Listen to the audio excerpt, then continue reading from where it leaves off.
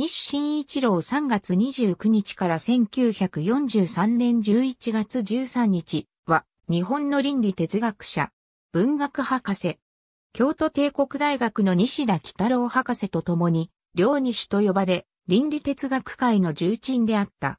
鳥取県鳥取市で西野ボルゾーの長男として生まれる。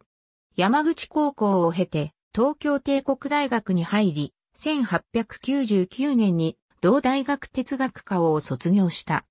広島高等師範学校が設立されるとともに、同校教授となり、同校が文理科大学となって、引き続きその教授となっている。満州国の首都新京に建国大学を設立する際の創立委員を務めた。昭和18年正月の宮中の高所の儀には、昭和天皇に論語の漢籍を進行している。父の小倉は、士族の出身。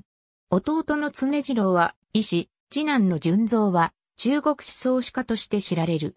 次女の、主義は弟子である倫理学者、森滝一郎と結婚した。新一郎を生んだ文知会師の西家の初代は西女庵と言い、明和6年鳥取藩西文知家四代、池田忠読に召し抱えられた。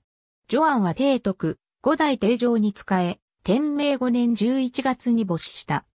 二代目女庵は、天明五年11月に家督を継ぎ、帝上、六代帝教、七代帝保の三代に寺位として仕え、天保4年3月に没した。三代目龍安は、その5月に家督を継いだ。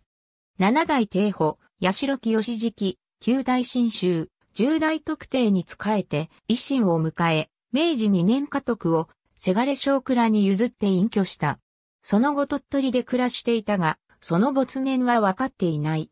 せがれ小倉は武士となって廃藩を迎えている。